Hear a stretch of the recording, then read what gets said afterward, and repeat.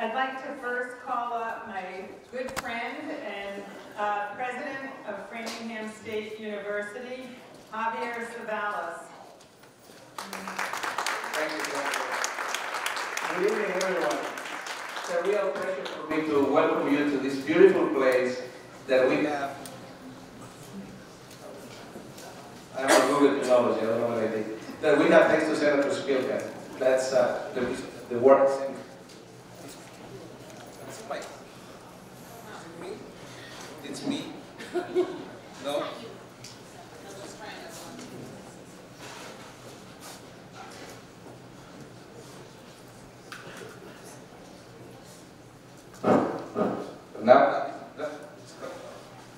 Hello? Okay, this work. Does the microphone has something against Spanish accents? I don't know. I was gonna say, you know, thanks again to Senator Spilka for allowing Framingham State to have this place. And also thanks to her for her vision about bringing this group together tonight. It is such a vision. Uh, I was talking to Jill a few minutes ago about. oh. uh, Saturday Night Live. I was talking to, to Jill about uh, how important it is to see what people not say, but what people do. And that is something the Senator Spilka has always done. She has made a big difference, caring about everyone in society, especially about children and how children will be the future of our society, understanding how everybody is different and how people will develop, learn in different ways, understanding the different learning styles. Framingham State University, as you know, is the oldest uh, public teachers college in the nation, the oldest normal school in the nation. And the first president of Framingham State, Cyrus Peirce, was convinced that rote memorization and single styles of learning didn't work. So already in 1839, he was thinking about making sure that learning was interactive and available to all. So the long trajectory we have had about learning and learning styles really is a part of our culture. So I'm delighted that Framingham State is part of this. I know that I see uh, Representative Jack Lewis in the back. I'd like to welcome him and thank him. He's also Framingham State. And I think that our new mayor of Framingham is here as well, Dr. Spicer. So and we look forward many projects. And I think I think I'm gonna pass the microphone to Senator Spilka because it's gonna work for her.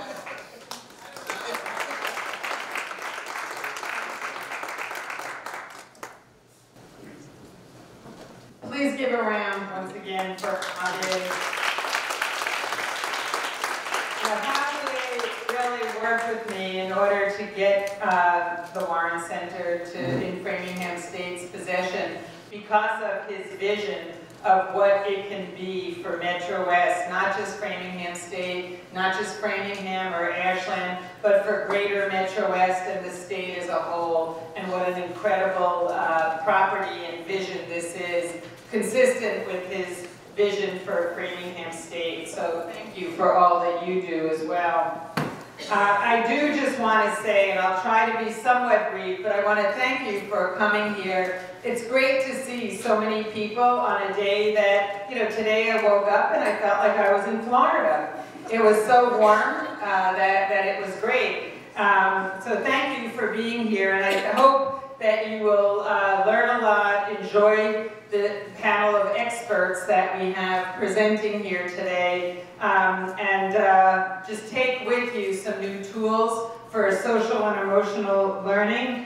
We have the Rennie Center here and uh, the ExSEL Coalition. The Rennie Center, for those that may not be aware, is a nationally known education think tank, sort of, to, that, and their mission is to help improve public education, which is the same mission that all of you, the reason you're here is because it's your mission as well. Um, and they help do it and drive the improvement through informed decision making based on cutting edge issues, diving really deep into the uh, knowledge, the expertise of people, and presenting uh, to folks that are in the position to make public policy and are really at the top of the education decision making.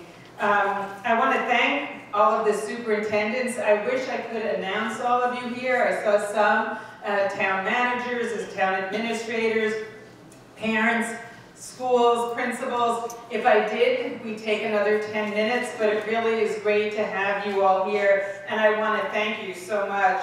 Uh, I do just want to mention that we are uh, blessed. We have uh, Maria Mossaides here. I'd like to acknowledge Maria. She is the Massachusetts Child Advocate, so if there are issues concerning children, Maria and her staff are smack in the middle of it all, doing a great job investigating and helping drive policy, good public policy, so thank you. And I do just want to take a moment to introduce uh, Brian Prescott, a Hopkinton uh, high school history teacher who actually interned in my office on his time off. That's what he did as his break. Um, and it was great having him, and we keep in touch. And he's here with Megan, Tara, Luke, and Young, who are Hopkinton High School student government students here to learn. So uh, hopefully, you know, you may learn from them as well. So I just want to say my goal, I have a Metro West Kids initiative that's been ongoing for like the last uh, two years or so. And the whole idea is to identify strategies to help all of our children across Metro West. What can we do to help raise uh, healthy, strategic, resilient kids in, in, our, in our Metro West and beyond? Um, you know, we do it through school, we do it in families and parenting, we do it in community groups, and it really does, to use the phrase, take a village, take a community to do this. So uh, we are trying in my office to provide resources and tools to parents, to school committees, to principals and superintendents, and whoever else might be uh, interested to help share the resources, the experts, when you may not know exactly who to go to, and help provide some of these strategies and tools, and then decide if this is the beginning of a foundation that maybe, particularly in the schools, uh, you might want to pull on and grow and implement more and develop, particularly with this, a social and emotional learning curriculum.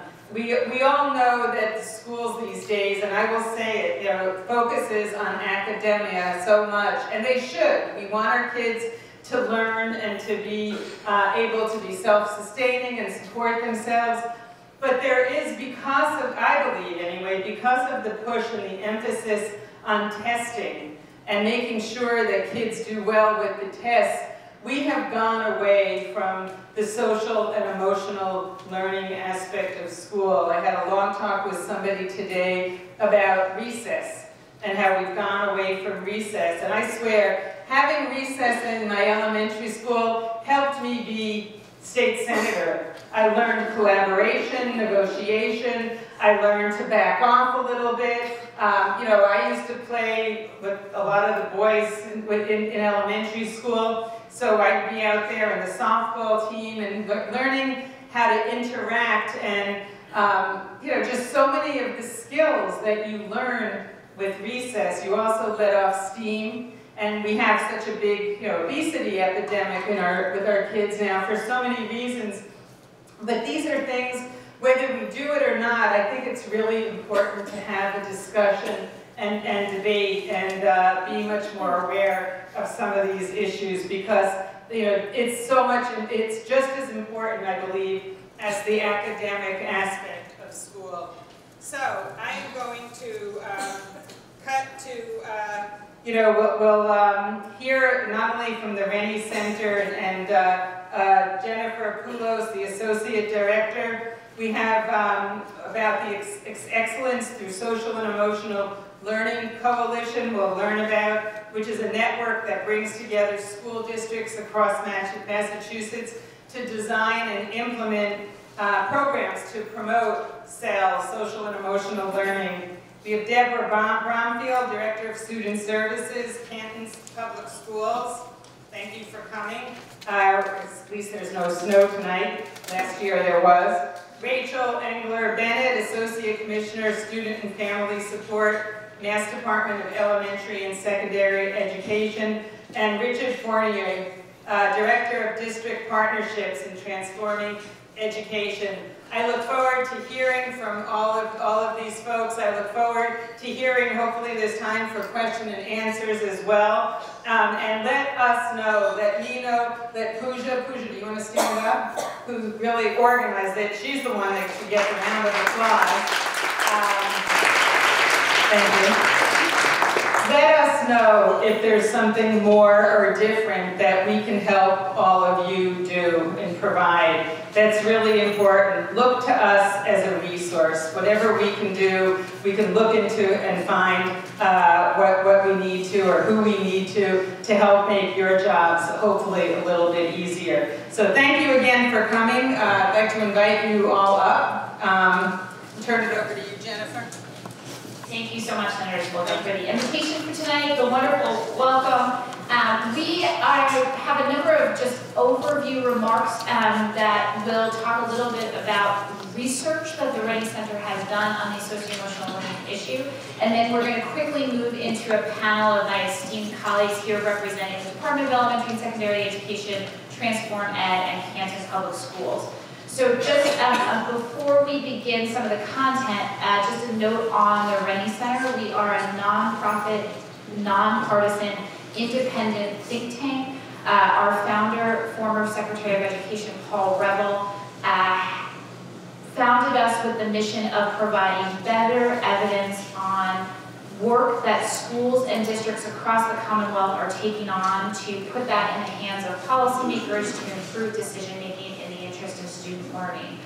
We have a history of uh, really attacking issues of student learning, often defined by college and career readiness. And that's actually where our interest in socio-emotional learning came from. Are a number of studies that focused on how to reduce the dropout rate, how to increase the stu students and students of all communities obtaining a Massachusetts public high school diploma and what kinds of alternative education practices were out there. We heard time and time again from educators across the Commonwealth, we got the academics, it's the social and the emotional that we need help with.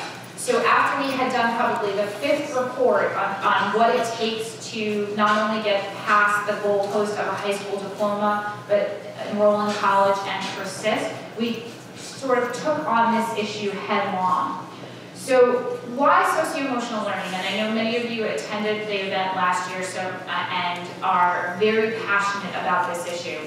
The, and we'll hear this, uh, these sentiments echoed from many of our panels tonight.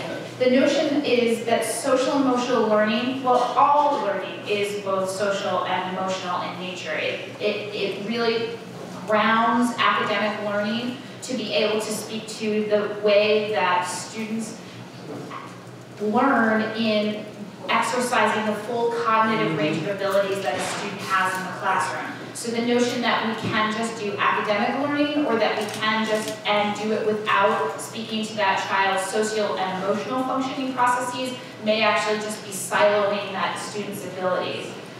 We know that these skills come with a lot of different names, whether it be soft skills, 21st century skills, career ready skills, they're probably the same range of interpersonal and intrapersonal skills that the CASEL framework, which is I know familiar to many of you who joined us last year, really seek to capture. The notion that things like relationship building, social awareness, self-awareness really define how we learn about how we learn um, and how even our youngest students can develop the kind of skills that make them not only better in the classroom, better to manage their own stress, better able to respond to emotional and behavioral triggers, and be more successful. It was going to happen to me too, through their academic career as they approach college and make, start to make career decisions. Um, the notion here is that much of our research about socio-emotional learning is grounded in this CASEL framework and these five sets of skills. You'll hear different interpretations of these skills tonight. Um, so I call your attention to this now and challenge you to think about, again, how we'll sort of integrate this in our comments as we begin our panel.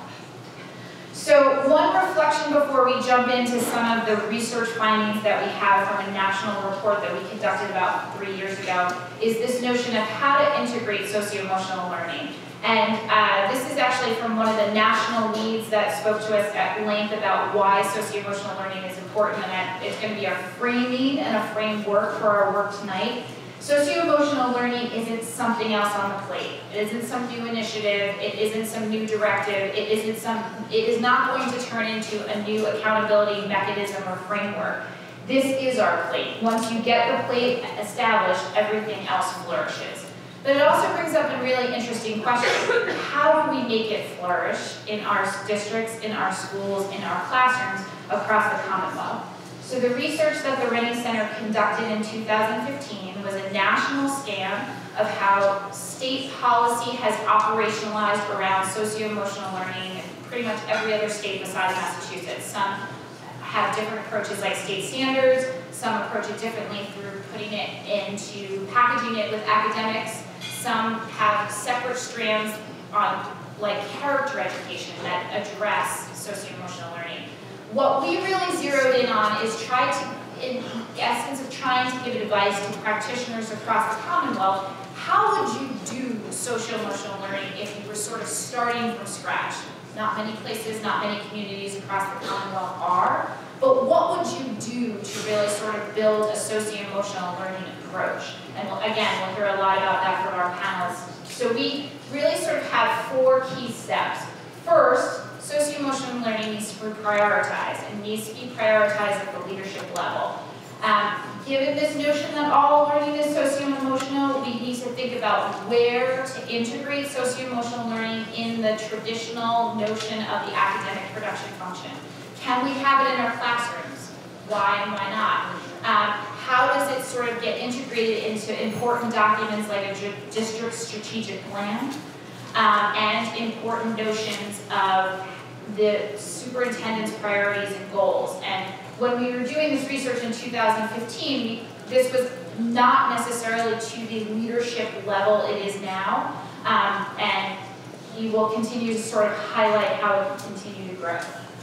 Next, like all student learning needs, there are a set of resources in each district that need to be tagged to social emotional learning to really sort of make it thrive.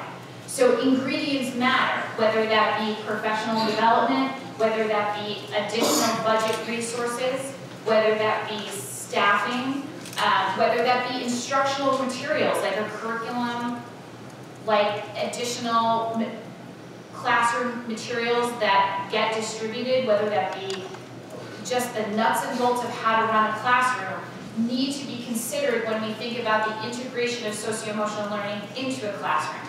Um, some of the districts across the country are thinking about how to fund socio-emotional learning from a district operating line. Some are funding it from grant funds. The notion here isn't that the where the resources come from matter. It's just that the cornucopia of resources that it takes to integrate socio-emotional learning do need to get addressed. Again, whether it's in a professional development plan, whether it's in a staffing plan, whether it requires additional expertise that some of the, whether it be members of your district or members of community can bring to bear.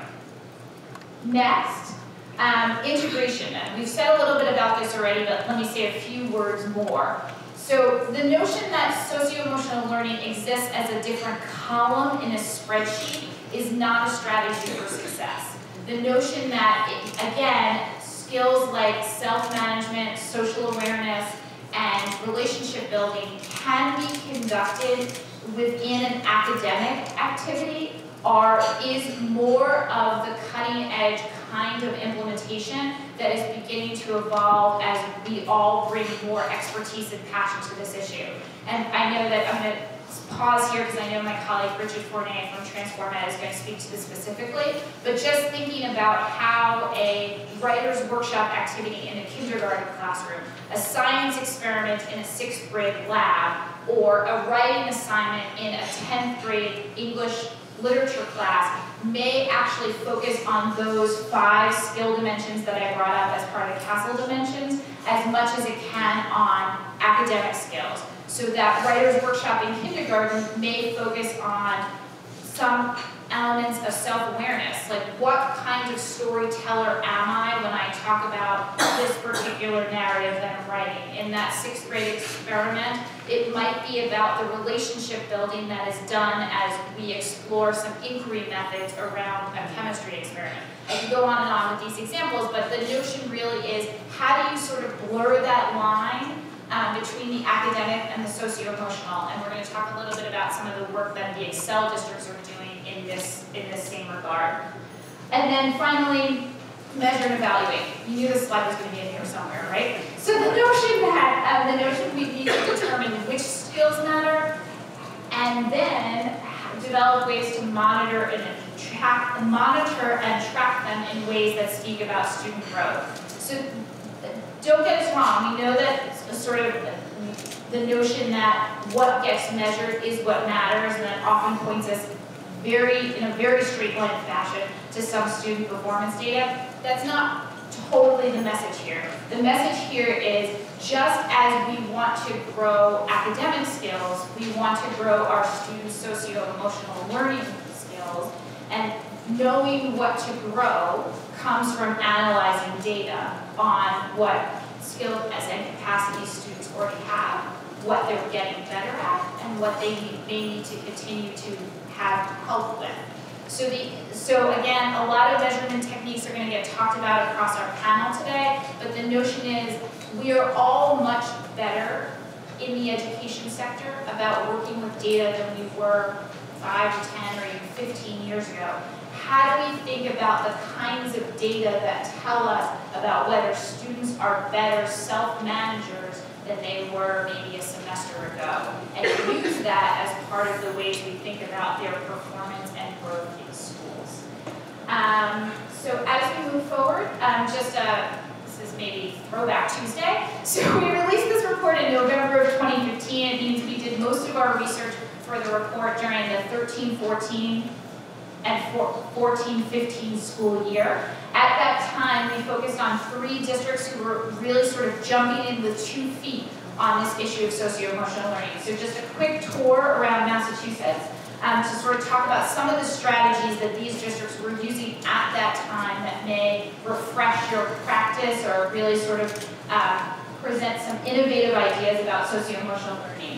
So first, in Fall River, Massachusetts, they had received a state grant to really focus on wraparound support, specifically in the early ed sector. They had used a lot of this focus to redefine school readiness as a function of both literacy, math, uh, and also socio-emotional learning skill capacity. So the notion that that socio-emotional learning definition would be incorporated into the school readiness definition, and really started to work as a community coalition to spread knowledge about what it means to be school ready um, in the socio-emotional learning convention. Moving to Reading, they have a community-wide coalition that has been really focused on substance abuse issues and, and some of the outgrowth of the opioid crisis in the community.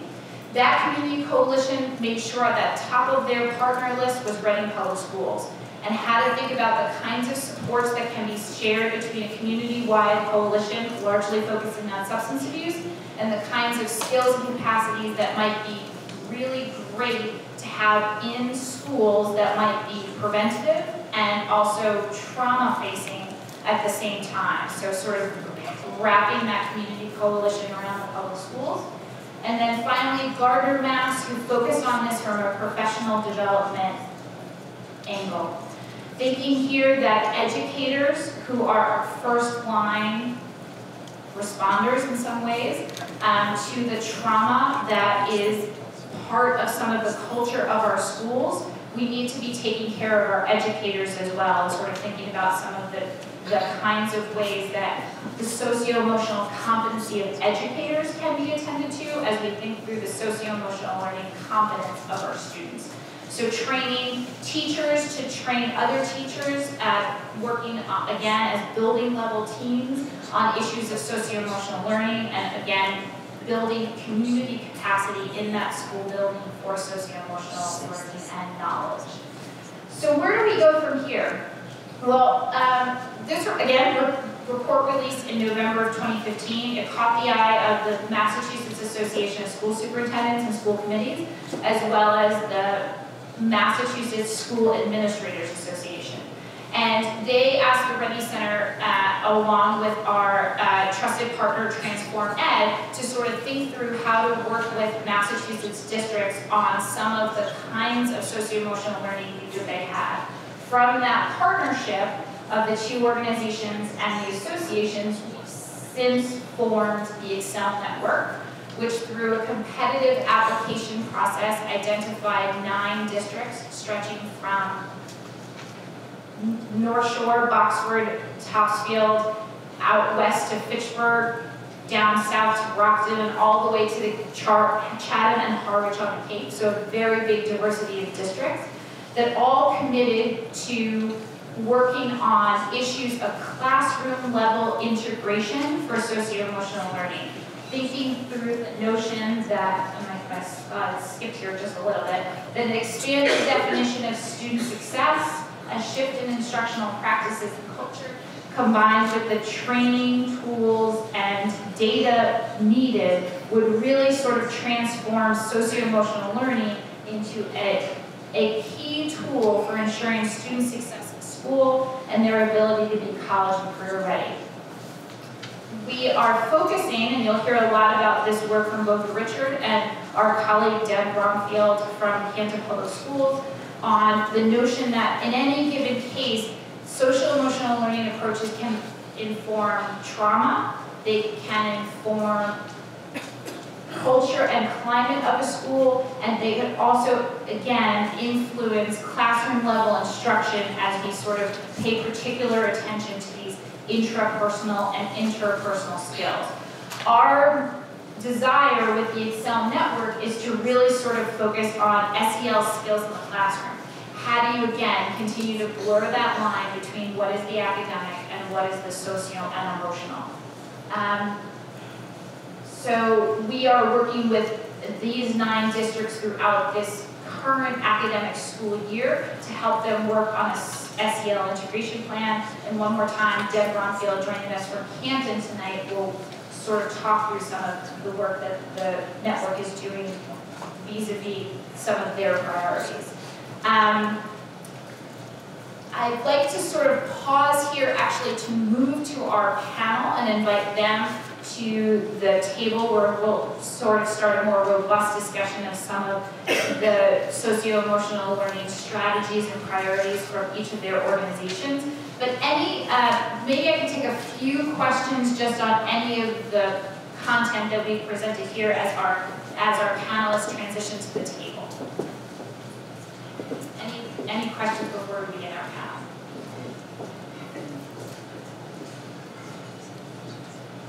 Okay, I think I'm just going to do a quick round of introductions of our panelists and um, begin a conversation about socio-emotional learning priorities. Thank you.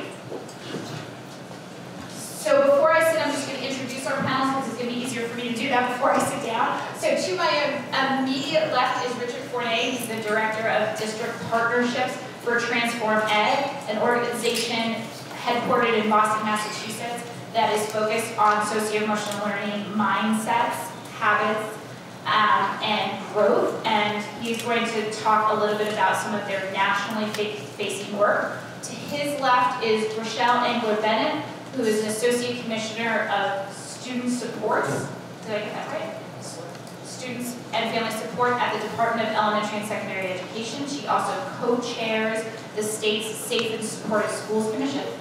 Thank you. And to her left um, is Deb Bromfield, who is the Director of Student Support for the Canton Public Schools.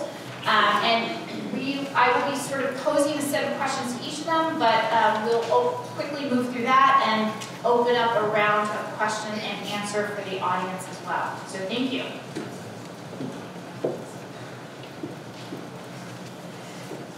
So Rachelle, I'd love to start with you this evening and hear a little bit your perspective uh, as a member of the department.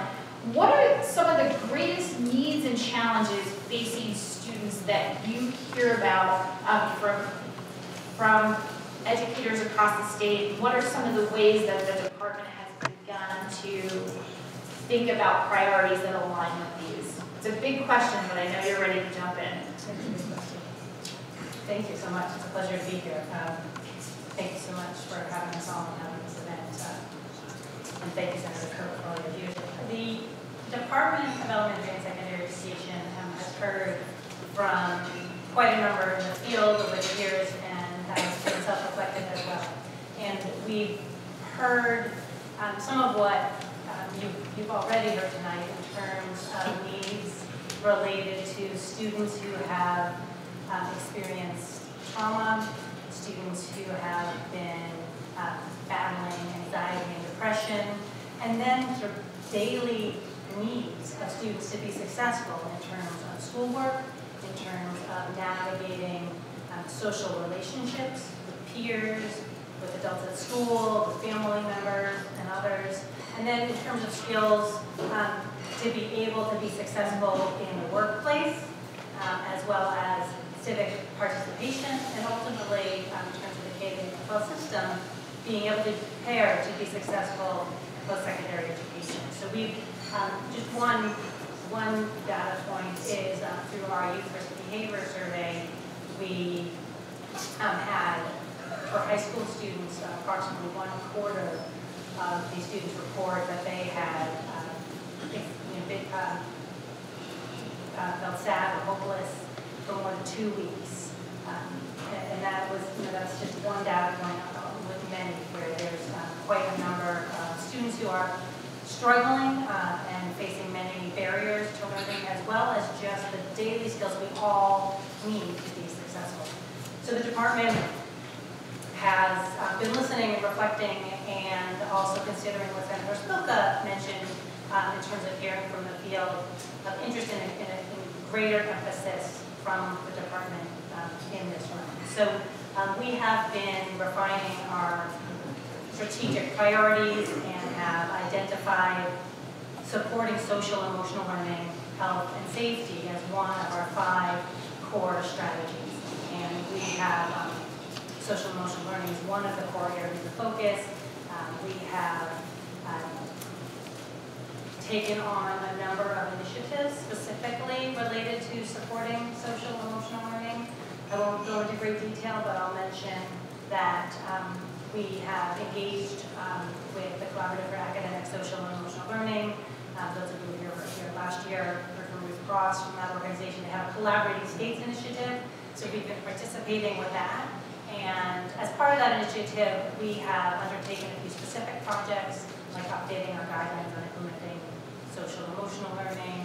Um, We've included guiding principles on social and emotional learning in our revised mathematics and ELA curriculum frameworks. Um, We've also taken the approach to integrate and align throughout many initiatives, support for social and emotional learning. I'm happy to go through more examples, but uh, I'll pause there. Great, great, thank you very much. So I'm going to move to Deb Bromfield from Canton Public Schools next. Deb, maybe you could tell us a little bit about um, your district and the district's priority, how it's placed a priority on social emotional learning. Um, We know that you are, just from getting to know you as part of the ExSEL network, that you've articulated some specific and both student and educator learning goals for SEL. So maybe you could talk a little bit about that work and some of its roots. Thank you all for having us here today.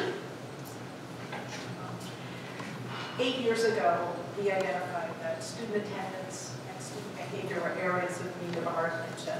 And as we paid attention to, um, to student attendance, we discovered that students' avoidance of school was multifaceted. Issues included, but were not limited to bullying, anxiety, poor social skills, lack of self-esteem, mental health, truancy, and academic challenges. And as we began to address each of these issues, we determined that our work would need to be in the area of social emotional learning. And so began our work in this direction, and we've progressed over the past eight years. Great. Um, so we're going to go to Richard Fournier next. So you bring an interesting vantage point to tonight's conversation, sort of working nationally on issues of socio-emotional learning outside the Commonwealth with some leader districts and states that have really sort of sought out a focus on um, this issue, both from an implementation perspective, but a measurement one too. Um, so what do you think is some of the most interesting work being done in districts, again, across the country, um, to advance SEL as a priority? Um, That's a good question. Uh, There's so much stuff, there's so much around SEL going on around, uh, the US. The, the efforts I'd probably point to as the most interesting uh, are with the core districts in California. My organization uh, started working with the core districts back in 2013, and basically around that time, uh, six or so superintendents in California from very large urban districts. So we're talking about Los Angeles, San Francisco, Fresno, Santa Ana, Oakland, uh, a few others. These superintendents got together and basically said, look, we, we want to expand the definition of student success to include social and emotional skills along with uh, many other items as well, um, put more emphasis on culture and climate. Um, so they together, uh, along with our help and a couple other organizations, uh, curated a set of, set of measures around a prioritized set of SEL competencies. Uh, and those were growth mindset, self-efficacy, uh, self-management, and social awareness. And so what they decided to do is they, they felt first we need to collect data on this and see where we're at. And so they created an index, which is really interesting.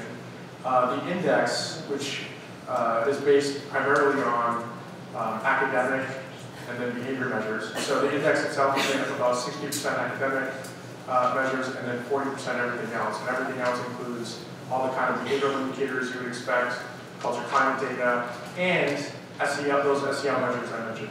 Uh, and that makes up about, the SEL makes up about 8%. So we worked with them throughout the years to uh, curate a set of measures, working with Neil Harrington and Angela Duckworth, Trump Dweck, these names I'm sure you've heard. Uh, validated this with around 450,000 students. Today, uh, they're using this index with around a million students. Now, the reason I mention this as a background context is that the most, what's, that's not so much the most interesting part. What's interesting is that you now have all these, these nine or so districts with all this data. So the big, the interesting part is what are they doing with the data? And what's, what I found fascinating is that for the most part, the districts have gone off and then done their own uh, innovative uh, efforts around SEL. So for example, in Santa Ana, they've created a number of online professional development for their teachers around building knowledge around practice and research of these competencies. In Fresno, they've created an internal SEL institute for their staff. Um, and the one, I, I'll just be brief, but the biggest, most impressive one, in my opinion, um, has been in San Francisco. Uh, and we worked with them a little bit in developing this. Um, but San Francisco was around 46,000 students, I believe uh, created recently and then rolled out a SEL report card for PK to 5. And so in this report card, the teachers provide proficiency ratings on students in those four areas I mentioned, growth mindset, self-efficacy, self-management, social awareness, which are also part of their standards. And we could debate, of course, whether or not this is a good move, right? Teachers rating students, uh, that, that's a whole other discussion. But the, what, what's really impressive about this is that that one major effort led to a number of impactful things. So, for example, they successfully then created a common language throughout the district. They made it very clear what was being prioritized with SEL. In the process of developing the report card, they involved a variety of parent groups throughout the uh, district, who in turn asked for a family companion guide translated in six different languages. Uh, they they uh, included around 140 teachers to review these things. So they got a lot of district buy-in in the process. And the last thing I'd say is that um, this has led to a number of different professional development opportunities, and they're also starting now to see changes in practice. So whether we disagree or, or whatever with the actual rating aspect, the fact that they put together this report card uh, culminated in all of these interesting, impactful uh, impacts. So um, I, in terms of national efforts, I think this is one of, for me, one of those Great, thanks for the very comprehensive example. So Michelle, back to you for a sec, if you don't mind me posing yet another question. So when you hear about examples like this from San Francisco, um, what are you thinking about in when you think about the, some of the most important ways that the ESE is currently working with districts to help districts shape their socio-emotional learning agenda. Like, in other words, ESE has been out front and shaping a priority for, for it, the agency, but sort of what's the translation function to district-facing work? Sure, so, I mean, I would say that, uh, a few things. One, in terms of our agency focus as well, our aim is, is not just about what we're doing, but it's about how we're helping to promote systems and strategies that are creating safe, positive, healthy, culturally competent, and inclusive learning environments that address the varied needs of students um, and improve educational levels for all. So some of the ways that we're working with districts include um, through our Rethinking Discipline Professional Learning Network. We also, we we also have um, a number of grant programs that support some work in this realm. We have Safe and Supportive Schools grant programs where districts can use a framework and self-assessment tool to identify what are the local urgent priorities and what steps um, are doable to take, and then how can um, those steps be assessed and measured, um, and course um, adjustments made as needed along the way. We, um, I think we also believe it's very important to have districts learning from each other and taking on practices that are most helpful. So the ExSEL Network, Rennie, and others that are supporting um, networking and peer learning um, is, is also um, something that, that we support and, and. And again, there are a number of other initiatives and ways we're interacting with districts to support the development of both social and academic learning um, throughout their work. Some. Thank you very much. We'll, we'll get back there in just a second. Um, so Deb, back to you. Um, what are some of the strategies that you and your district colleagues have implemented to align with some of the learning that you all pulled from that analysis of your attendance data in terms of, you identified, it sounds like you identified right away that some socio-emotional supports were needed. So what did you do next? So along the way, we have developed an, um, and I've provided for you this evening our strategic framework. And if you turn to the back of that page, you'll see um, section 2.1, social emotional learning. We then took that particular strategic action plan and created a more developed action plan, which some of our key steps are to create a core SEL team at the district level and those at the building level. We're trying to create and vertically articulate what social emotional learning developmentally looks like pre-K to 12, how a skill of independence for a preschooler can be um, identified, and how we would see that independence develop as these children develop to be seniors in high school.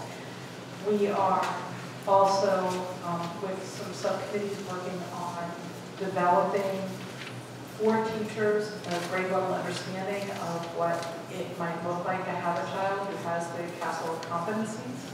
And um, we're looking to integrate our work into the types of lessons, the curriculum that are in the classroom. We are a very inclusive district. Um, we try not to pull out students at every juncture. We push in whether it's our related service providers, whether it's our um, guidance counselors. We're trying to do the work in the classroom. We really try to prevent students from having what we would call a clicker experience, where they're going in and out and in and out of the classroom, and they're really missing out on the continuity of the instruction. And if you're already with challenges, I think that makes it that much harder. It also identifies you and calls you out to everybody. When our providers um, are in the classroom, they're working with all students and we're finding them to be social, social emotionally supportive to everyone. And at the same time, it's actually creating um, as Gallo would say, that skillful teaching of working together in the moment and not um, requiring the staff to go out to professional development, but rather to in vitro look at those students and work with each other and find new ways towards service. So, um, I have added one other thing on the back of the action plan, and, um, it does describe, obviously, we adhere to the, what we expect as a guidance to our teachers for social, sorry, is work. Um, So promotion skills, or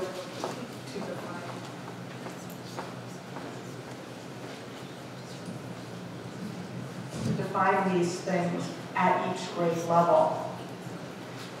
We hope that each student in our school has a school experience that leads them to gain some years of self and self-confidence, resilience, leadership, perspective taking, building relationships, and having empathy. Um, As we're pulling our um, SEL professionals together to guide the district in building this work, we have trained all of our administrators, and we eventually trained almost all, and we're still working on this, on our district staff in collaborative problem solving. We wanted them to have real tools to communicate and talk with children in effective ways and to be able to problem solve rather than just react. We have worked very, very hard on having zero restraints, zero suspensions. Um, we have built a, a homeschool interventionist position and a home, uh, home-based program, and so we're able to, if children have difficulties, provide for them in our school and not have them out of school, never missing any academic time. Um, and I can report that our numbers are pretty good. Our data um, shows that we're not restraining. We say we don't restrain, and we don't. We say we don't suspend, and we don't. And I think we're at less than one percent in those areas of um, having those more um, reactive or um, punishing types- of responses. We're really proactively trying to teach our children and look at their mistakes as, or their behaviors as ways that we have deficits that need to be um, to give them skills that they may not have otherwise been taught, or if they're taught, they might go to an ed plan to get a um, remedial specialized instruction in some of those areas where they're struggling social emotionally. So, um, the other thing, um, that I did want to point out to you is that, um, in our district, our students seem to be, it doesn't mean we don't have bullying or harassment or teasing or anything else like every other district, but we are finding that we're listening to our families and our children the moment they're coming forward. We really encourage them to come forward, even though they're listening, even if they will identify this bullying and it may not really be, but to come forward so that we can respond to issues very quickly rather than after they've really grown to be much bigger, major issues that are not as easily resolved. So those are the types of things that we're doing, the strategies that we put in place and the direction that we're going in. And before um, you all move away from that excellent handout that Deb put together for your, for your review tonight, it- on the back bottom page, there's actually a a sort of information about how Canton Public Schools uh, has organized their RTI, or Response to Intervention Plan. Um, Many of you are familiar with these notions of different tiers that organize instruction for different student skills and capabilities. Many times schools have both an academic and socio-emotional learning articulation of these, Canton does. So just to call your attention to how they sort of thought about how to address socio-emotional learning needs in the same way that academic learning needs would be organized across the three tiers. We just wanted to highlight that as sort of an excellent articulation of how to sort of again prioritize socio-emotional learning and blur that line between the academic and the socio-emotional. So Um, I'm gonna move back to Richard, um, and pose another question. Here we go. When you think about the highest leverage strategies for districts to implement SEL, what comes to mind? And if you had to say, what do you think is the role for community in this work in supporting schools? Okay, so I have a couple of thoughts. Uh, first of all, I wish I brought handouts. This is great. um, also, my last response you said was very comprehensive. Does that mean I talked too long, or does that I No, Betsy was very comprehensive. Um, okay, so just a couple thoughts. Um, I told this story actually last at our last ExSEL session. Uh, this summer I was in New Jersey and I, in a district and I was doing an observation, and so I went into the classroom with my protocol and whatever. And this teacher looked at me and said, "Oh, I wish you had come yesterday because yesterday I was doing SEL." I thought, you know, okay. Um, but my point was, uh, my point here is that. Um, the, one of the biggest challenges I think that we face is that uh, educators, and this includes me and, and, probably many of us in here, um, we still think of SEL as something separate um, from academics and everything else, when, when in actuality it's uh, in everything that we do, it's in every interaction that we have, it's in our personal life, it's in our work life. Um, and so one of the highest leverage strategies that I've seen has been with districts who have said made a commitment to improve these SEL, SE skills in all students and not try to um, fraction their efforts. One of the ways that they've done this, and I've seen this in some of the core districts as well as some other districts that we work with, uh, is that they didn't confine SEL to the pupil services department or the special ed department or uh, you know, some other department. Uh, instead, they ensured that the uh, groups collaborated, so most important, I in my opinion, was getting any, anyone's department or office of instruction involved. Um, to me, to not have the Department of Instruction involved in all these other efforts doesn't really make a lot of sense if you're planning to help uh, improve these skills of every student. The other thing I'd say is, um, along with that comes what, I, what I've often referred to as intentionality. So um, if you think about, I spent a lot of my work uh, studying school culture and citizenship and things like that. Um, and when we think about school culture, uh, we all know school culture is extremely hard to dictate, right? Um, and, and yet, every school has one. Every organization has one. The question I always ask is, are you intentional about what this culture looks like? Are you aware of what it looks like? And then are you trying to move it a certain way?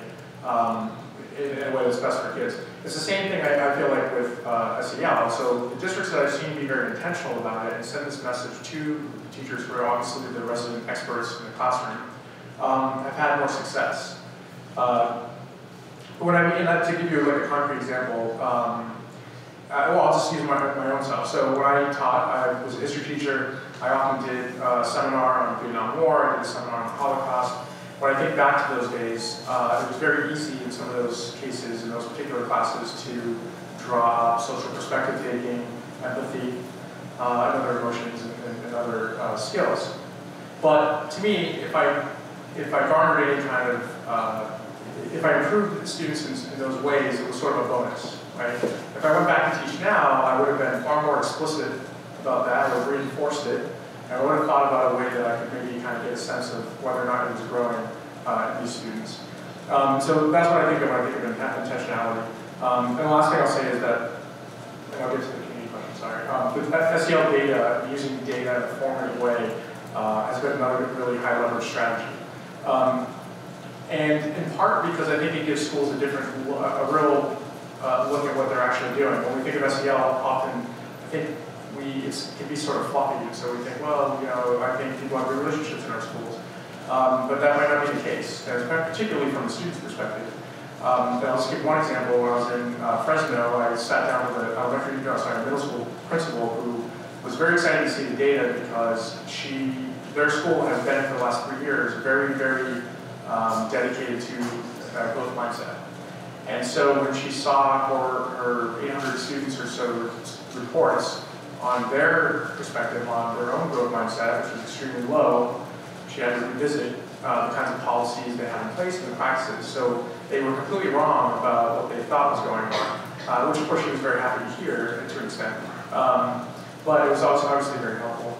In terms of community, that's obviously a very tough one, um, but you know, thinking a lot about Karen Mapp's work and how we can engage families in a number of different areas, um, I would just say that one of the, some of the most successful examples I've seen have been when districts are openly sharing and being transparent about this data with parents.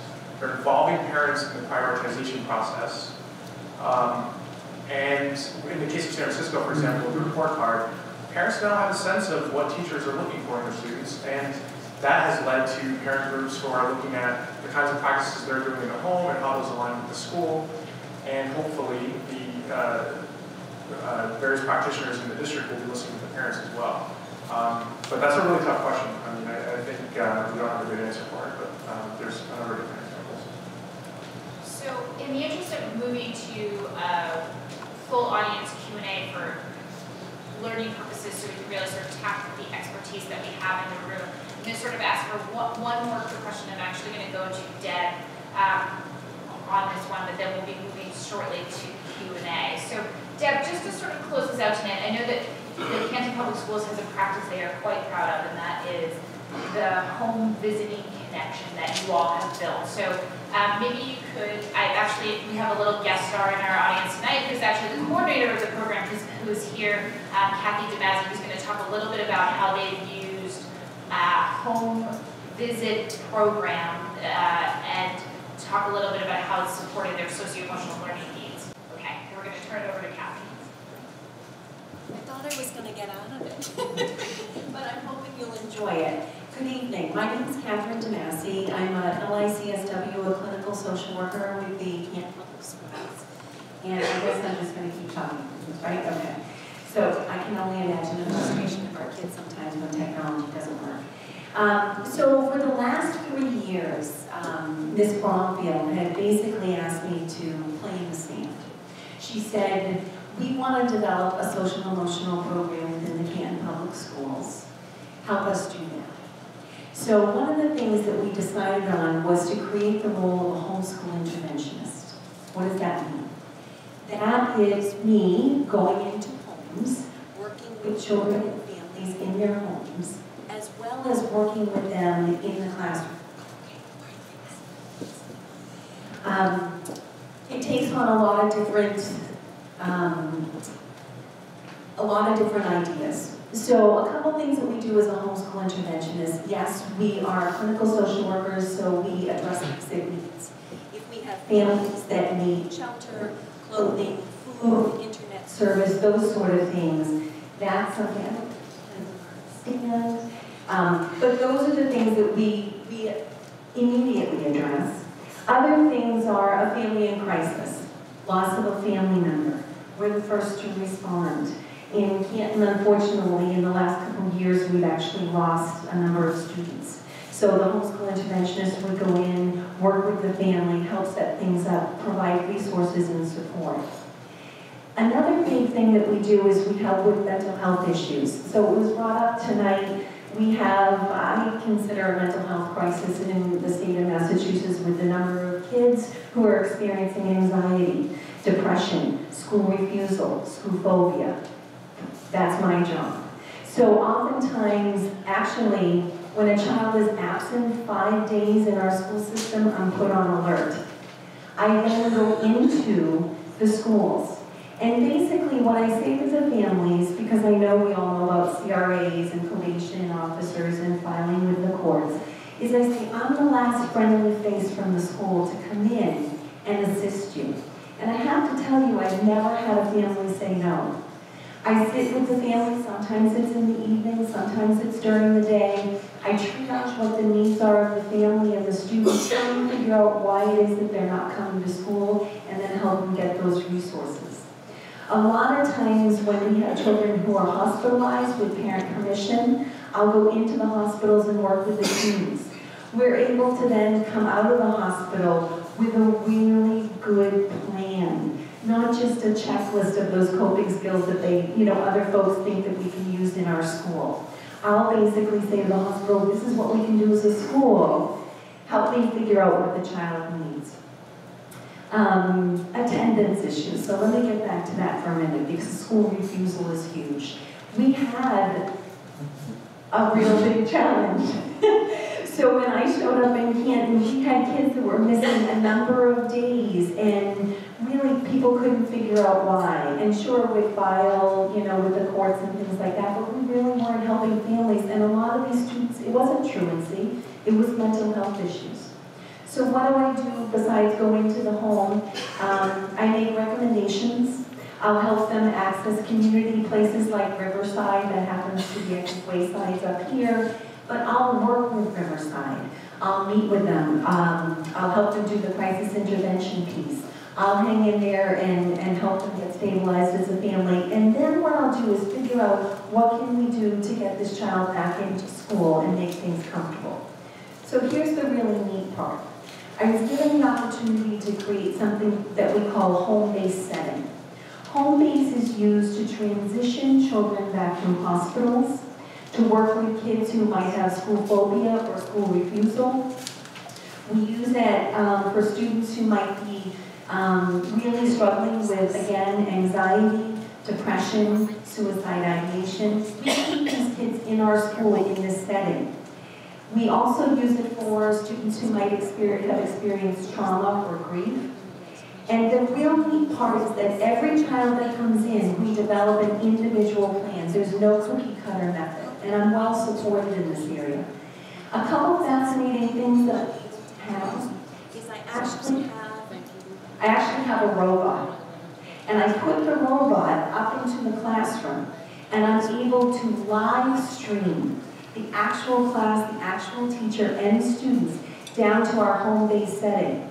So the student then is actually getting educated, but what we're using this tool is, is to desensitize kids with the anxiety issue of getting them to gradually move from home to home base and then to the classroom.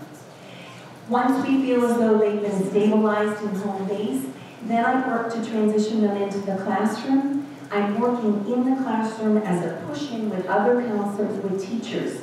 So think about it, we're able to educate not only the teacher around that student, but other students in the class who might be suffering from those things. One last thing is we also have, we've set up Google Classroom. Well, that's nothing new. But with our home base, I opened it up to the teachers of the students who are in our home base.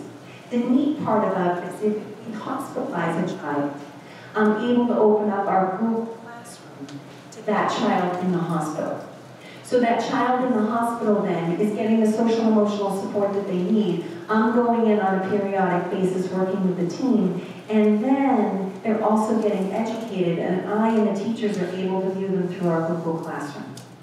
So a couple key things, and I know we've got 30 seconds, is that a big part of my job is really connecting families with what it is that they need, being the bridge to our school, wherever those childs are, helping the families address their social emotional needs as well as the students. And the real neat part about it is you don't need a plan. You don't need a plan to get into our home-based setting. You don't need an IEP, you don't need a 504, I happen to be oh a 504 for coordinator too, but you don't need those things, and you don't need those things to get the services from a homeschool interventionist. Thank you. Thank you so much, Kathy. So as promised, we want to make sure to engage all of you in this conversation as well, so maybe we can take a few questions.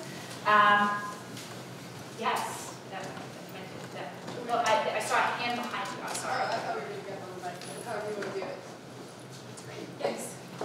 Okay, thanks so much for hosting this and for everyone being here. I'm really excited and impressed. My name is Amanda Shepard from Framingham, and I was really inspired about some of the work I'm hearing about the SEL development, specifically in California. I'm actually wearing the Oakland shirt right now, so uh, it's my adopted home state.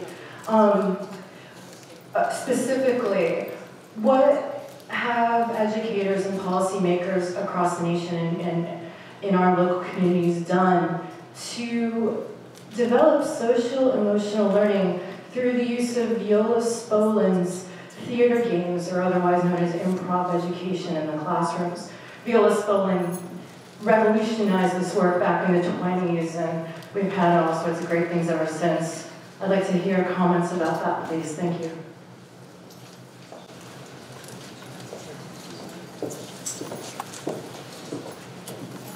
Thanks for the question. I, I, I will say that, uh, I have been to a couple schools.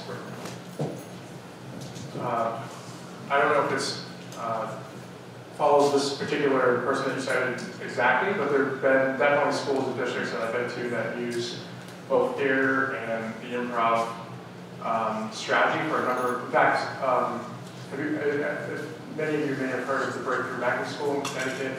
Uh, they're focused exclusively on mindfulness. and some of the teachers there have uh, engaged in some of these kinds of strategies. Um, but they pop up from time to time. In terms of, from a sort of national policy perspective, I don't think it, as, as far as I know, it's not, you know, uh, on anyone's radar in terms of like, uh, you know, state effort or federal effort or anything like that. But that does pop up from time to time in the districts that I've seen.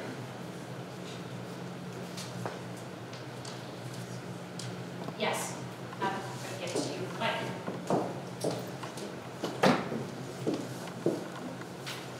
Hi, so um, I I was struck, Richard, by your comment about, um, when you specifically talked about, you know, examples of of curriculum that we use and how to embed these skills into the curriculum. And I think, you know, hearing everything tonight, I think a lot of our districts are doing some wonderful things with our kids who are identified. It's about being proactive and, and, you know, explicitly teaching these skills.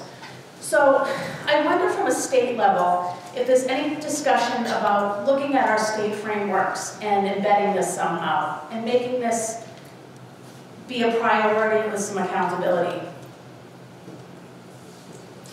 Um, Michelle, I think that one's for you. I think I'll, I think I'll take that. So, um, there are a few things that, that, that I'll just briefly say, you'd like. But, um, one thing is that the department will be taking on revisions to our much outdated comprehensive health curriculum frameworks, which include social emotional learning currently as a strand. Um, and so we will be engaging with the field uh, over the next several years. We're we're planning um, at this point the time and the process, the timing and process. Uh, but that's one way uh, that we'll be taking this on. Another is that uh, we did add in our guiding principles in the mathematics and English language arts and literacy revised curriculum frameworks recently, a guiding principle explicitly focused on uh, pointing to the effectiveness of integrating social and emotional learning into sort of broader math and ELA sort of content and standards. Um, and we've also, in our revised guidelines on implementing social and emotional learning curricula, added some examples that we'll elaborate on and, and um, increase over time that, that specifically speak to ways that um, educators can integrate the development of social emotional competencies into core curriculum. So those are just a few ways. Um, and um, with other curriculum frameworks that we're revising, we're taking it on similarly. Great, thank you very much for that information. Another question? Thank you. Um, Joan Shaughnessy from Holliston. I have to ask, um, the Canton, um, what I heard you say is that you created this position, this at-home position. I get the model, I understand it. How on God's green earth did you pay for it? I'm the budget chair. Actually, it was um, You're gonna deal. a blessing that I had from the school committee and the superintendents that I worked for. I lobbied hard, and I started with one, and that was Kathy, and we now actually have one at every level. Um, And we continue to build our model. I said, take a chance with the pilot, and let me see if I can show you some results. And as the results poured in, I think the dollars have continued to follow. So Deb, we're just gonna ask you, um, who just walking to you with a mic, just, uh, folks in the back had a little trouble hearing. So just to recap, she started with one position, she now has three, but maybe you could see it, let's say a little bit more. Could I just dig, in? I could probably clarify with a follow-up question. So were these FTEs, were these recs, that, again, I'm sorry, I'm a budget lady, um, were these FTEs that were already in the system that you, that you, were they social workers that were already employees of the system? These were, these were positions that were added to the Canton Public Schools. So I guess my question is more, is for an administrator, I suppose, like, and where did, where in the budget did you come up with that? So I've been through, I've been in this position not at Canton, but also at Mascot for many, many years. And I have learned how to re-engineer, and I've learned how to be creative, and I've learned how to shuffle, and I've learned how to ask. Um, And so sometimes through asks, I got the position, sometimes I actually um, re-engineered positions and got FTEs. But slowly and surely, I went from pilots, whenever I have an idea, I try to pilot it and show its worth value, or ditch it quickly if it isn't working. And that's how I made that happen. I have, you know, used grant money at times to be a seed. Um, The 274 grant, which unfortunately isn't around right now, um, at least for some districts, it is uh, a mechanism that helped to bring a lot of professional development. That was a sad thing to see go.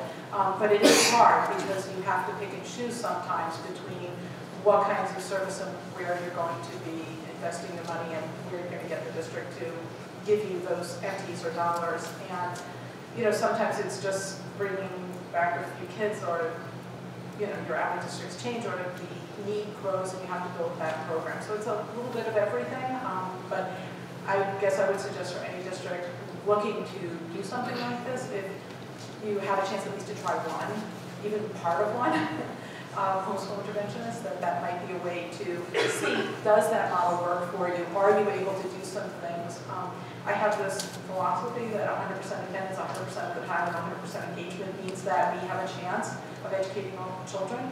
And so I strive for that through this model of making sure that we have the children there, and the only way we can get them there is if they feel safe and comfortable and are able to engage in their learning. So I've been using that as my sales pitch for many, many years, and I, as I said, I've been very blessed that I've had superintendents and school committees that have taken those risks with me and allowed us to do these things, and now they're helping me to grow these programs. Thank you.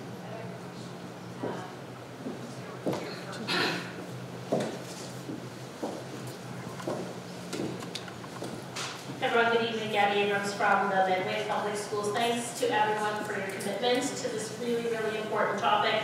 A shout out to Richard, we met last year during a um, Tri-County Roundtable, Superintendent Roundtable meeting, and I was equally impressed with the work of transforming education at that time. I think that you are operationalizing something that's really hard to operationalize, and we really need that in our work. So, um, and thanks to Canton for your, for your exemplar, because I think that we need to do a lot more sharing. So that goes to my question for Rachelle. I'm wondering if the, if the department, um, has given some consideration to collecting some sort of systemic way to collect these models of practices throughout, um, throughout the Commonwealth. There's brilliant work happening in districts.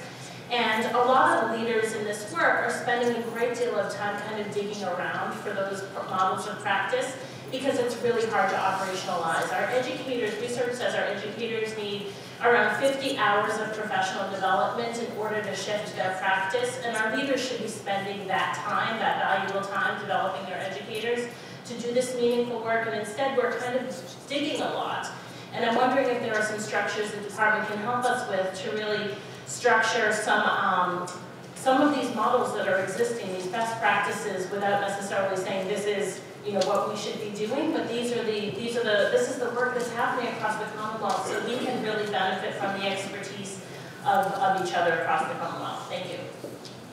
Um, yeah, so I have, um, a few things to say. One, one is a great question and something we've been grappling with, um, for years. And, um, don't, we certainly haven't figured it all out. I think we, um, appreciate, as I mentioned before, some sort of partnering entities that are helping to do that kind of work, um, like Transforming and, and the Rennie Center. We have, through some of our grant programs, um, made efforts to collect and continue to engage in the collection of some promising practices. Some of those can be shared on the website. So, for example, through wraparound um, initiative that was mentioned at the beginning of all we were participated in, um, there's something called like a cookbook that has recipes of some um, promising practices um, in that round. We um, have another iteration of that wraparound zone work. We have a Systems for Student Success Office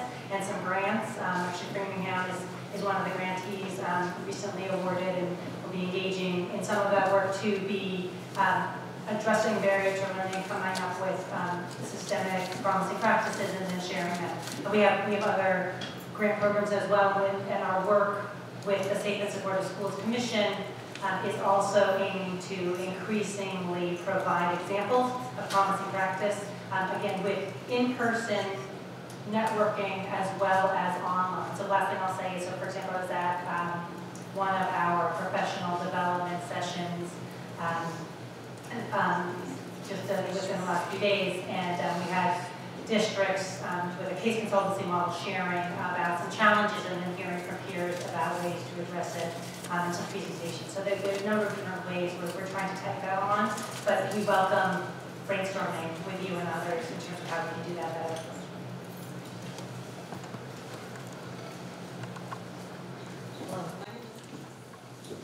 Hi, my name is Samar. I'm, I'm school time coordinator in Framingham. My question is for the senator. You know, in the school time arena, we see a lot of great products. One is code.org. They've taken programming with the best corporations, bringing their resources, and that's an awesome tool that we implement. What's being done at the state level to lobby, you know, resource our best universities, our brightest students, reach out to these corporations and ask them to integrate the SEL, help us bridge and expedite this great need. I'll just speak. I don't need a microphone. I've never been told I have a quiet voice. Um, you know, I think that it has to start early with, with our kids and building up and reinforcing. But, you know, somebody said to me today, so you're doing a SEL forum for kids in schools. When are you going to do one for adults?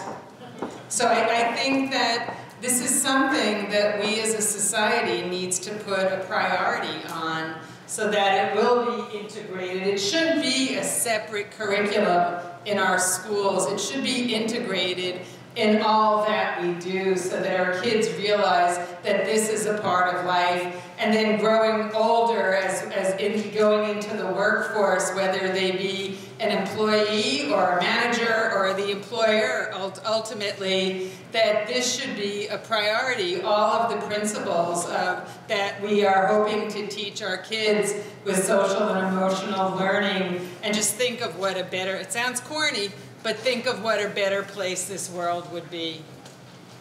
Is there a lobbying group that you know of at the development level that's pushing for these type of programs to to plant seeds in different organizations to help push this forward? For adults, are you asking, or for? To uh, access corporations, like you think of what Facebook has done for code.org program, right? And uh, think of all the different vendors that we use. If we say to them, we want you to incorporate SEL. Yeah, I mean, the Rennie Center is, working with uh, social and emotional learning, clearly putting a priority on it and helping to create the ExSEL Coalition.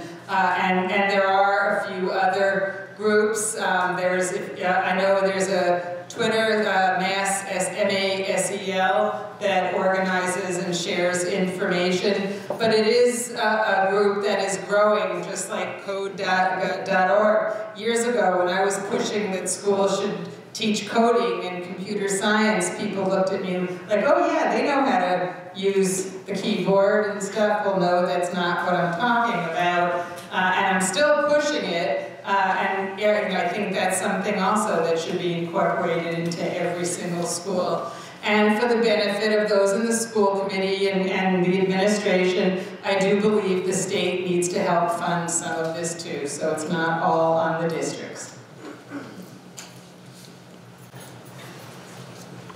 I'm Heidi Kaufman with the Metro West YMCA, and I'm curious about any models that might exist, or ideas or suggestions or experiences that people have had with um, working with community partners. So not just the families, but community organizations. There's several community organizations here in the room um, who provide either early learning programs, or they provide before and after school programs, summer camps, and things of that nature what types of partnerships are doing, being done with those types of organizations um, who may have already invested or have program models that support social and emotional learning. I, I think I can answer one more too. Rachelle, do you want to take the lead and then I can follow? Um, you, you can go ahead and take lead, I'll that. So a number of organiz uh, examples that we pointed to tonight, including Reading Public Schools, Fall River Public Schools, have specific plans which have integrated the work of community-based partners in providing socio-emotional learning for youth in out-of-school time settings. Um, I would actually highlight the work of Boston After School and Beyond. It's an intermediary organization in Boston, Massachusetts that has integrated probably 135 community partners who are all working now on similar socio-emotional learning curricula and are using similar, if not the same, measurement tools to inventory student skills, uh, both through student self-report and teacher self-report, based upon instruments that are socio-emotional learning instruments that have, that have been developed and led through a partnership between the Massachusetts Department of Elementary and Secondary Education and um, socio-emotional learning researchers across the country. So uh, their work is probably comes to mind most in terms of the way community investment can continue to guide socio-emotional learning as a priority for our communities. They do it in summer learning, after-school learning, um, and also work-based learning options to make sure that all of those community providers have a set of tools to work with youth on. Sounds like you're familiar with their work. Great. Rachelle, do you want to No, that's great, I was, um, I'm happy you spoke to all of those. Um, I think the, the one other thing I'll, I'll mention, um, is that we are, um, looking into principles of effective practice re- regarding integrated student supports. And part of that really, um, has as its foundation, schools engaging with community organizations and community partners so that students can be getting the supports that they need in school, out of school, and, and developing the skills, um, you know, throughout their, develop- throughout their trajectory.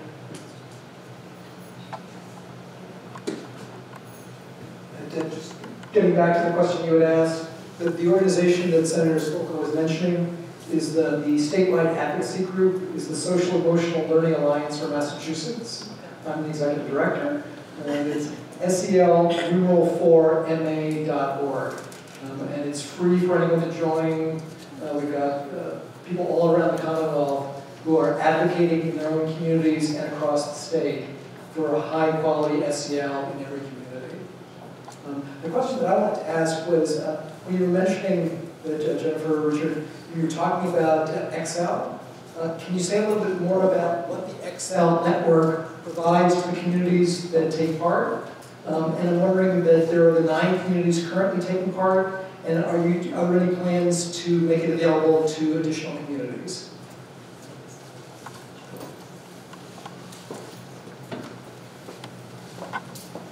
Uh, sure, and Jen, jump in whenever. Um, the first part of your question was uh, around, when you say community, do you mean the, are you talking about specific districts or the communities surrounding those districts? Or- The nine districts. Oh, the nine districts, okay. Uh, The, sorry, I forgot the first part of your question, but the second part of your question, I would say. What does it provide to those districts? What does it provide? The ExSEL network? Gotcha. So in part, um, we launched this uh, based off, uh, in part based on this Carnegie model around uh, network improvement communities. So the idea is, right, that you bring in a number of different districts that focus on a similar aim. In this case, the aim really is to embed an integrated SEL in every classroom, with every single student. So we're looking at basically a three-year process. We started with one year, um, and the first year is really all about planning. Um, the idea with the network, though, is that obviously individual districts have their own uh, needs that they need to address. Um, but the idea, particularly on the Carnegie, Carnegie model, is that you can leverage and actually work faster when learning uh, from successes, challenges, and other lessons learned from your fellow peers within that uh, large network, right? And so there's a lot more components to that, but essentially that's that's one of the most powerful aspects of it. Um, Jen, go ahead and uh, jump in if you'd like.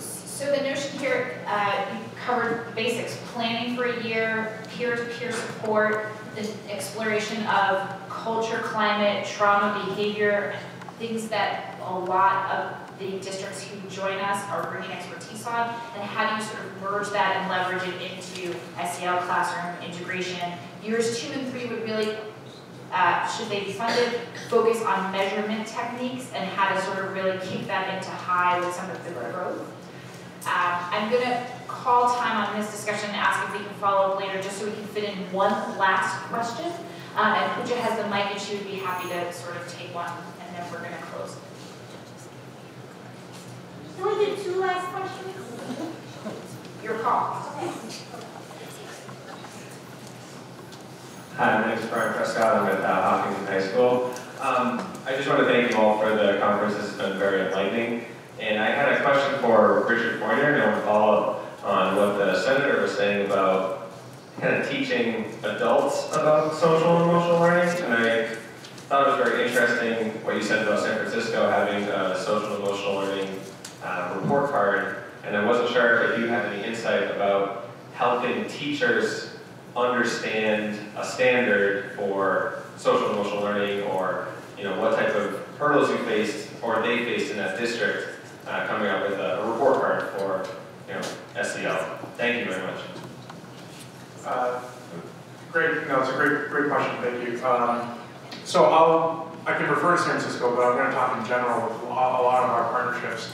Uh, I've been working at TransformEd for about two years, and when I first started, I within the I was very focused on students, right, children.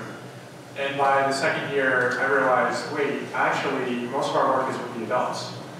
Um, in particular, when you start looking at the details of some of these competencies, and you look at the, uh, the uh, neuroscience behind them, and the education research behind it, the psychology behind it, you, can, you can't teach, it's hard to teach growth mindset or to help build that mindset if you yourself do not have a growth mindset, right? So I uh, often use this example, but when I was history teacher, I, for years, I, by the way, thought that I was really bad at math. Just I just felt I was naturally bad at math. And so um, I will be honest, I, I think I was a good teacher, but I probably passed on that notion to other students, and that's not good. And I, they probably carry that with them today. Um, so I actually think a big part of this is uh, definitely with uh, knowledge building around adults. If I could choose anything in education to focus on uh, with this mission, I would, if I could, if I had my wish, I would actually reform every ed prep program around the country because I think that's actually where what's sort of lacking around the nation. Um, not every university, of course, but many of the programs. Um, and just quickly, I'll just say that the, these districts like San Francisco are aware of that, and so they're incorporating as much knowledge building as they possibly can. But as you know, that's tough, right? Because you need some buy-in for that, you need good facilitators, some good professional development for that. Uh, it's just, it gets, it gets tricky, but I totally hear your point. It's um, very insightful because that's exactly one of the number one issues. And so knowledge building is huge. Um, I'm an adjunct at a local university, and when I and I sometimes teach undergrads that, when, who are going to be teachers, and they're juniors usually, and I always ask them, "What do you guys know about social emotional learning? What do you know about these skills?" And often they say not, they know nothing. And it's not that particular college; it's all over the place. I see this at Harvard as well. So it's scary because these are folks that are going to become teachers. And so we've got to do a better job, nationally um, in higher ed as well.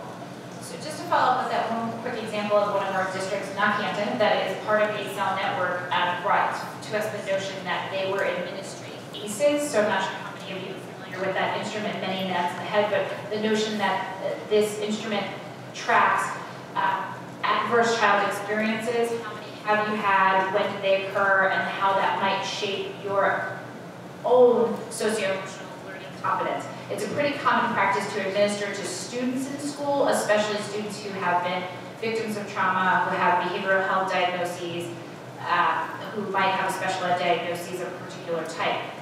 One of the districts, again, in the ExSEL network brought forth the notion that they are now doing this with their educators, right? To sort of have that same type of trauma, behavioral health, mental health, stressor, trigger, trauma conversation um, with their educators as a manner really sort of model the kinds of more informed conversations they want to have about students' socio-emotional learning, growth, health, and skill building opportunities as a outgrowth of the ability to have that conversation with their educators. So I think the notion here is very prevalent. It's the question of how do we do the work together. Um, and I told Pooja a minute ago that we could do one more question, so here we are. Last question, then I have a quick question.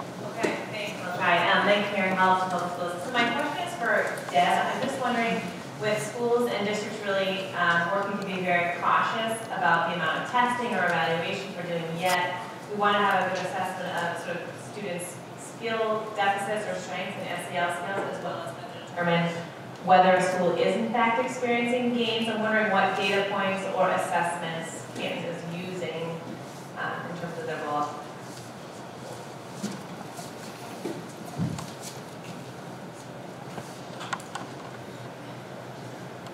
Sure at this point we're using any particular measures that, you know, and I'm just trying, trying to assume what you're referring to. Do you have a specific measure that you're thinking of that? No, I guess that's, the- that's the question that a lot of districts are facing, an effort to not covert assess, yet being able to gauge, measure, like if you say, gains or progress, or how to teach the various SEL skills, wondering what Canton is doing in, in, in determining when, when their schools made a gain, or when a student's made a gain in the area of E SEL. I think we're not there yet. I think that what we've been looking at is many more indicators, and I think that um, you can see some of the indicators of success. We're really looking at students engaged in class. We're hoping that there's a correlation, obviously, between them coming to school more and then them being more successful in the classroom. We're hoping to see if a child has difficulty with self-regulation, that we're seeing less incidents, so we track a lot of behaviors of our BCBA's. Um, I don't know if I'm answering your question, I'm hoping that this is, but I, I'm certainly to test with you, is that what you're looking for? And I think that was helpful in, in the struggle that districts are facing around this. We can look at attendance data, restraint data, suspension data, but the overall sort of when you're looking at tier one, tier two, tier three, and the, the CASEL skill development area, what tools I think our districts developing to help us determine where our, you know, overall population of students are with those skill areas. And I think what, what you're addressing now is the next level of work that we're really looking to do, because I think that we've had those initial indicators, we've been trying to understand this, we're trying to create the professional development through the collaborative problem solving, we're trying to give teachers skills, so there are all of these things happening, but I don't think we're quite at that point where we really have identified for ourselves what will it look like if our three-year-old leaves to go to their four-year-old class and they are showing those signs of independence and we really are meeting in, in subcommittees trying to define those things because we would like to stay away from a report card for that, but we would really like to be able to say, this is what we think it should look like and then get teachers to be able to talk about, does that child seem to be demonstrating those skills? And if so, are they looking, and what would it look like to be four-year-old ready and five-year-old ready, and to sort of track that, but that's in our, in development, in our, in discussion in our district at this point.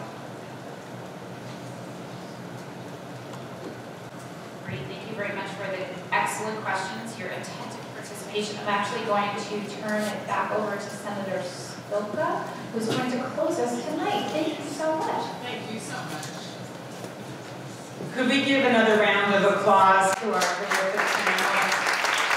Jennifer, Deborah, Rachelle, and Richard.